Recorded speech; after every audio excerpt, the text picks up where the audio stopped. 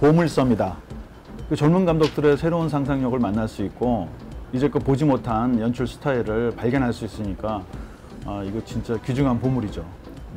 미장센 영화제는 처음부터 같이 해왔기 때문에 뭐 오랜 친구 혹은 또 자식 같은 느낌 들고 잘 자랐으면 좋겠다 미장센 영화제가 그런 얘기를 한 적이 있는데 벌써 이제 16회 됐으니까 어, 그런 느낌이겠죠.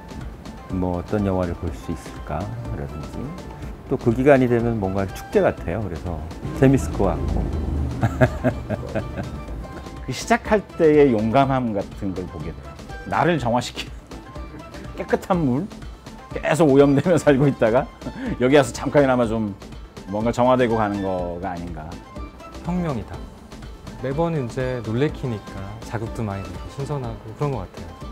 강박도 좀 없고 제한도 좀 없고 장편여랑 다르게 단편만이 가지고 있는 그 매력들이 있는데 그런 매력들이 계속 살아 있으니까 그 생명력이 음, 좋은 것 같아요. 시간이 이렇게 흐르는데도 매번 젊어지고 늙지 않고 또 낡지도 않고 계속 그렇게 진화하는 모습을 보면은 멀리 있지 않고 매 순간순간이 이렇게 정체되어 있는 걸 전복시켜주는 그런 순간인 것 같아서 혁명이라는 단어가 떠오르는 것 같아요.